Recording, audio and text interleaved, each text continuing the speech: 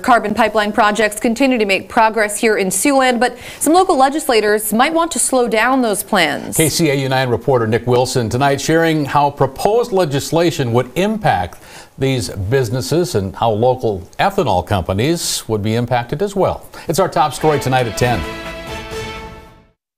The Iowa legislature is discussing bills which would increase the permission and transparency that pipeline companies need in order to receive eminent domain for their projects. People in the ethanol industry tell me they're excited about how these pipelines could help them. Senator Jeff Taylor introduced five bills into the Iowa Senate related to pipeline activity.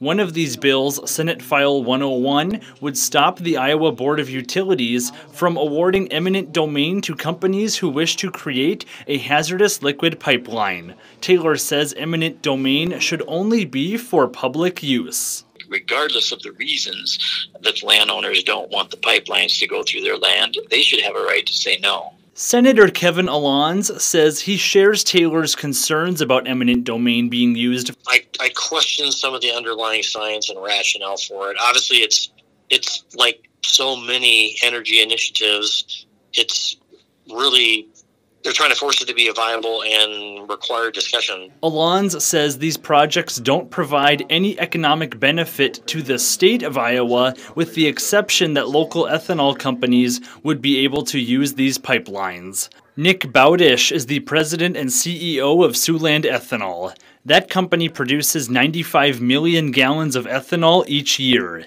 Wherever you have corn and soybeans grown in the Midwest, um, what we expect is that the, the very highest local prices paid to farmers for corn and soybeans will ultimately happen, and, and this applies to cash rents and land values too.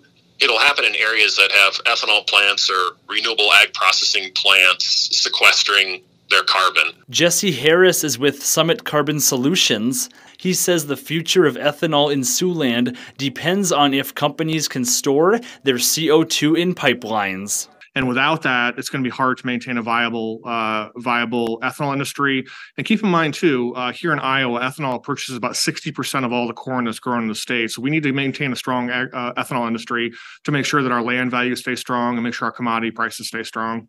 Senator Taylor says these bills have been assigned to a Commerce Committee, which will decide whether or not these bills will receive a public hearing. Nick Wilson, KCAU 9 News.